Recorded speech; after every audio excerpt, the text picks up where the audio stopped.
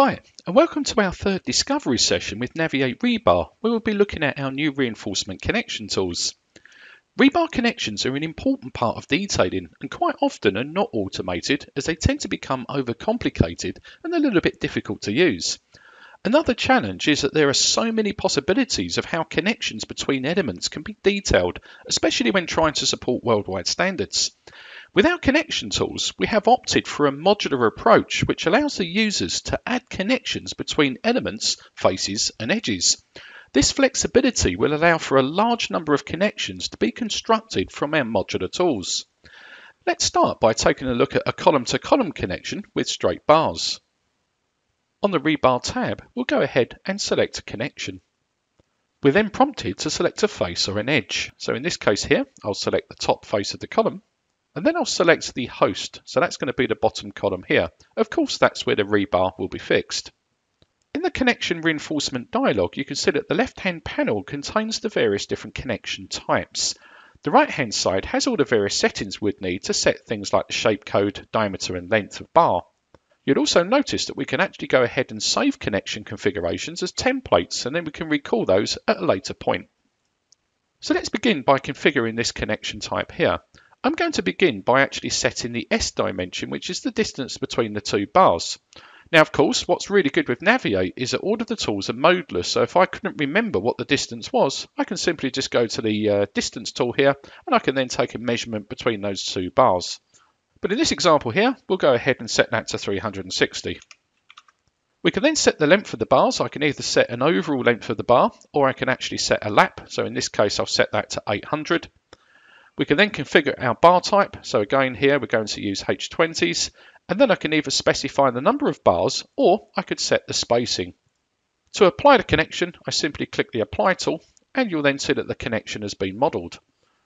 On the Rebar tab in the visualization panel, I can then select Show Obscured to actually then visualize those bars that we've just modelled. Okay, so we'll go ahead and close down the connection reinforcement dialog.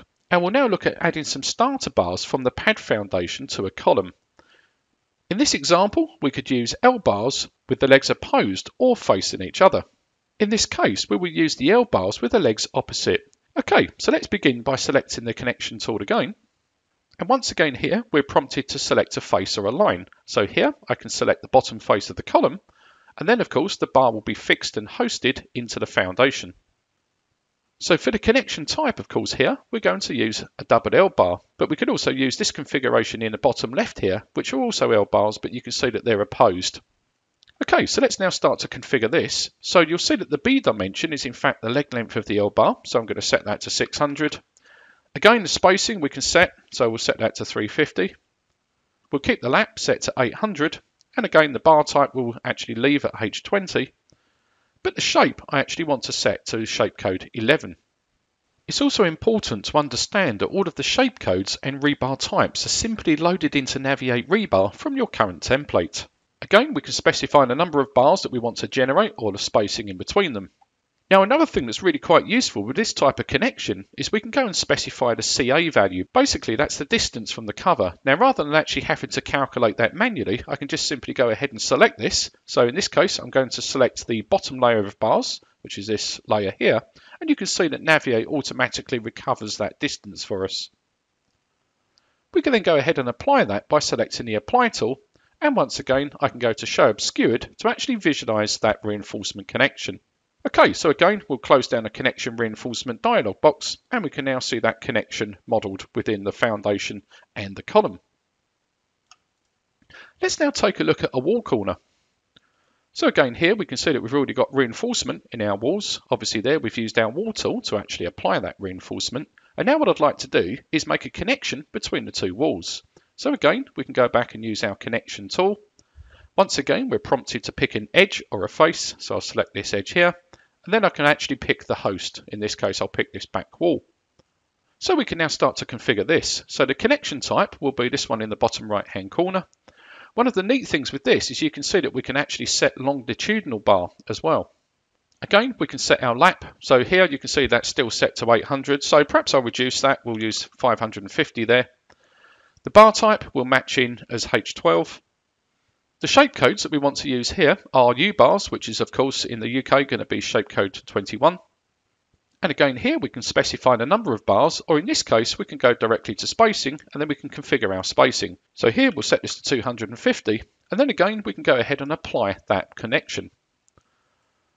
To visualize it, again we'll select show obscured and there we can see our wall reinforcement actually connecting the two walls together.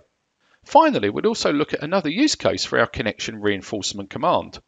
So you can see over here, I've got a floor and currently there's no reinforcement in this at all. What I might want to do is use our connection reinforcement to actually get U-bars around the perimeter of the slab. So this is something we can actually do. We don't have to connect two elements together. So now I'm going to demonstrate our templating here. So I'm going to use the U-bars in the top and bottom face, like so. What we can then do is go ahead and select the faces. So I'm going to select this face here, and then the actual slab itself, apply that, and again, I can say show obscured to actually see those U-bars in place.